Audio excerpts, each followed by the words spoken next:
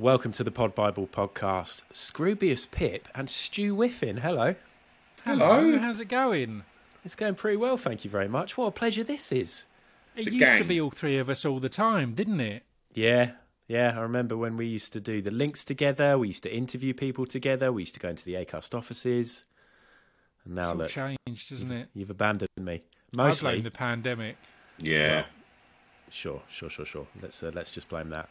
Um, the reason we're here is not just to talk about the, the past and uh, and talk about how great Pod Bible is. We can do that another time. We're actually here uh, because you guys have got a new podcast. You've both been on to talk about your your other podcast, your main podcast. Let's face it.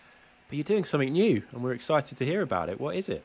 Well, I mean, you, you literally j- just said we aren't here to talk about the past, and this new podcast is basically talking about the past. Oh, oops. So that's awkward. But no, yeah. Um, I came up with it. I heard a few di- di- different friends of mine and and musicians I'm fans of, kind of just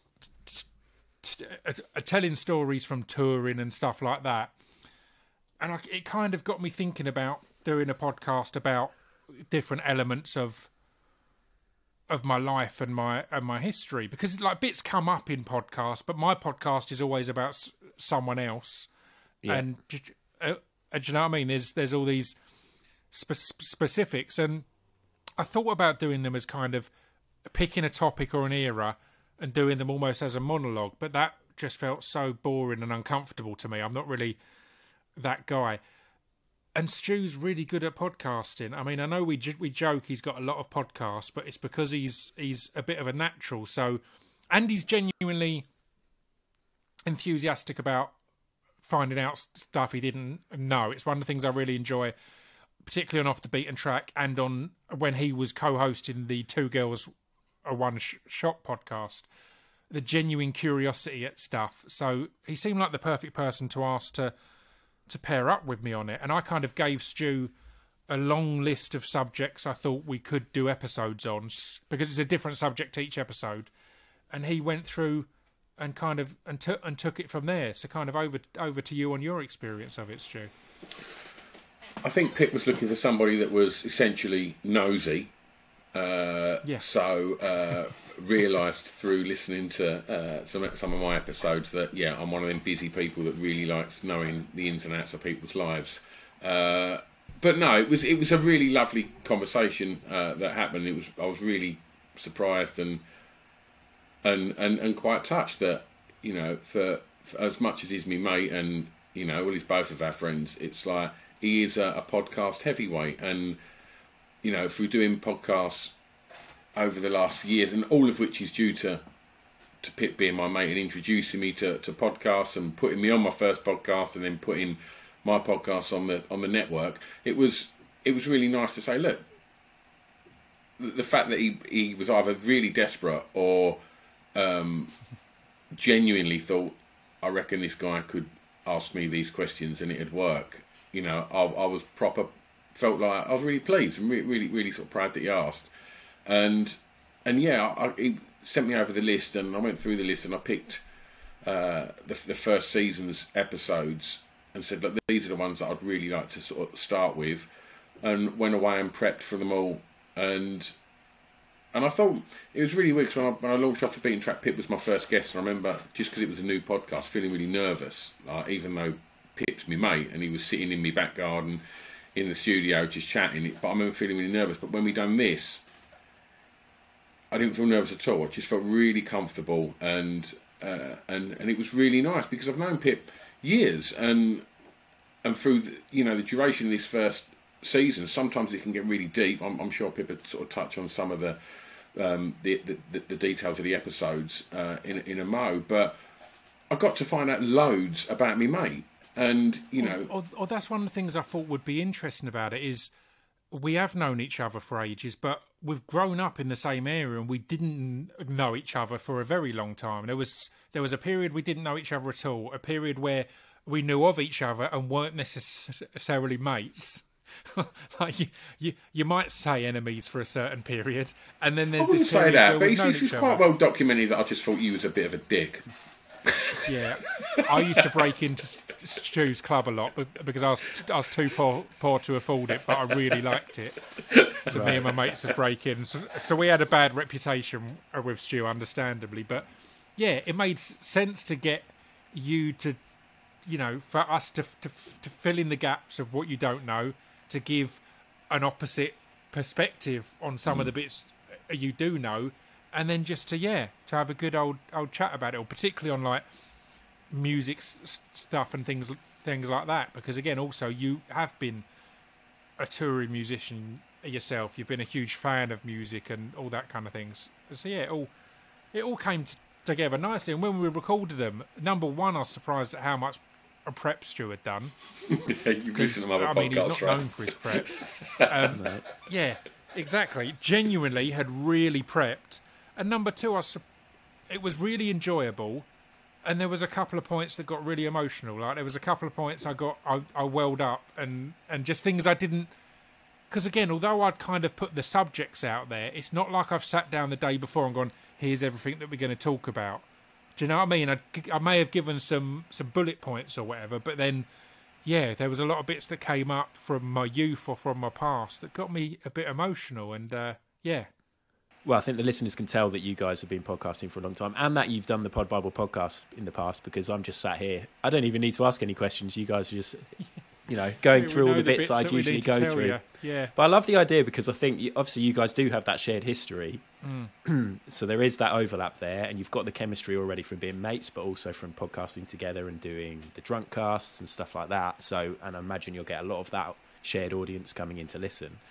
But yeah, there's also so much of, of your life that, that Stu will be unaware of. And that's the beauty of podcasts, right? You wouldn't ask these questions when you're just together.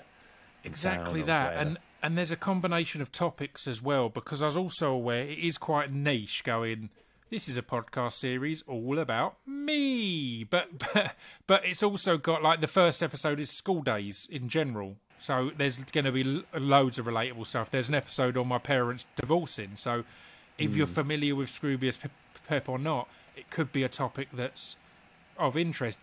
Then there are ones of touring days, of working with Dan le Sac, of different things like that that are more specific. But yeah, it's important to me. It wasn't just really uh, like only of any interest if you're a Scroobius Pip fan. There's parts of it that will be that. I'm under no illusion there, but yeah, I wanted to have relatable subjects in there and kind of tell those stories. Uh, yeah, uh, and I agree with you there. I think that the, the, the, the school days one and definitely the, the divorce episode, which I, I, I think was my favourite to, to record. It was really interesting know, knowing your parents uh, and and to sort of get some sort of backstory on that. And it certainly isn't just as you say for Scroobius Pip fans. It's it's it's just a really open, honest conversation about the impact of divorce, which I'm sure thousands and thousands of people can relate to, and mm. and, it, and it was a really really interesting one. But you know, when we talk about touring and things like that, we, you know, and the work you've done with Dan and the stuff that you've done with the band, again, I don't necessarily think that that's something for a Scroobius Pip fan only. I think that's people that are into music, people that want to know about what it's like being in a touring band and the pressures that yeah. come with, you know, being in not just a band, but being in a duo, you know, in the back the of a van. What is that? Band as well, the mid-level touring band where we've got a tour van and we've got a tour manager, but we're not in a flash tour bus. It's still the back of a van. It's that kind of that midpoint of yeah. playing to a few th- thousand, and you generally hear the local band type story or the stadium band type story. So, so yeah, that was an mm. important thing because I was thinking I've not heard t- too much of that. The fact that we're playing two sold out nights at Koko, so it's like six or seven thousand people over that point. But we're spending that whole month in travel lodges, so, so it's, it's, it's not this like r- rock and roll thing. It's the balance of, uh, of yeah. those worlds and the pressures and the pressures of yeah. being you know a duo in a van, you know, yeah. for months on end. That's you know, that, that, most people can relate to that through you know getting lost when you're driving on holiday with your partner, you know, intense situations. And that's just one journey going on holiday. You know, imagine yeah, that day after day after day. And, you know, it, you get a real insight into that pressure and the friendship uh, between you and Danny. So it's a, it's a really lovely really lovely episode that, and, and and I think you know people that are just fans of music and fans of you know on the road type documentaries are gonna are gonna really enjoy that as well. And what can people expect in terms of? I mean, did, I think you alluded to the fact that there's, there's going to be series. So, how many episodes have we got? Yeah, so we've got the first series is five episodes. Um, Right. We've got more than five more topics planned for series two, but we wanted to release it before we start recording series two because we want to get people's opinions as well. If there's anything listeners are like, I'd like to hear more about this, or I'd like to hear about Yeah. this. We want to get that interaction because again, as stupid as it sounds, there's so much I've forgotten. like like that if someone reminds you go, Oh yeah, we did that, didn't we? Like particularly from doing music to broadcasting to acting to all these different things along the way. There's loads like I, I even speaking now, not on our list is my days as as a street artist and doing gr- a graffiti. I did that for years. I've got tons of stories on that, but I forget that. So yeah, we wanted to do these this five part first series and then let that sit for a bit and get more suggestions in, and then we'll record the next series and we'll see. Yeah, we'll see how far we can go. Wonderful. And I imagine uh, you guys will be featuring a lot in Pod Bible, of course. Hopefully, Cover stars, right? Quite, quite the influence. I don't know. Let's not push Maybe it. the last the last issue we ever do. yeah. As long as I can be in the corner. Little thumbnail of me. Um, brilliant. Well, uh, we can be the cover great. stars, and and hardest part of the ring can be um, the the main Well, the secondary, secondary. interview. if, if that exists by then.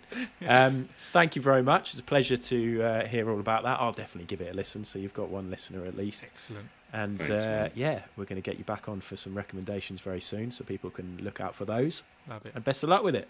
Cheers, mate. Thanks, Ed.